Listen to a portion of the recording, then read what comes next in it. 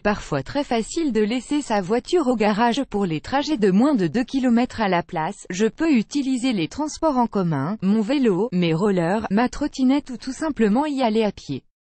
Tous les moyens sont bons pour diminuer sa consommation d'essence, économie réalisée aussi incroyable que cela puisse paraître, ma voiture consomme 50% de carburant en plus pendant le premier kilomètre, l'instant que mon moteur se réchauffe, en laissant ma voiture à la maison pour les trajets inférieurs à 2 km, je consomme beaucoup moins d'essence et donc d'argent.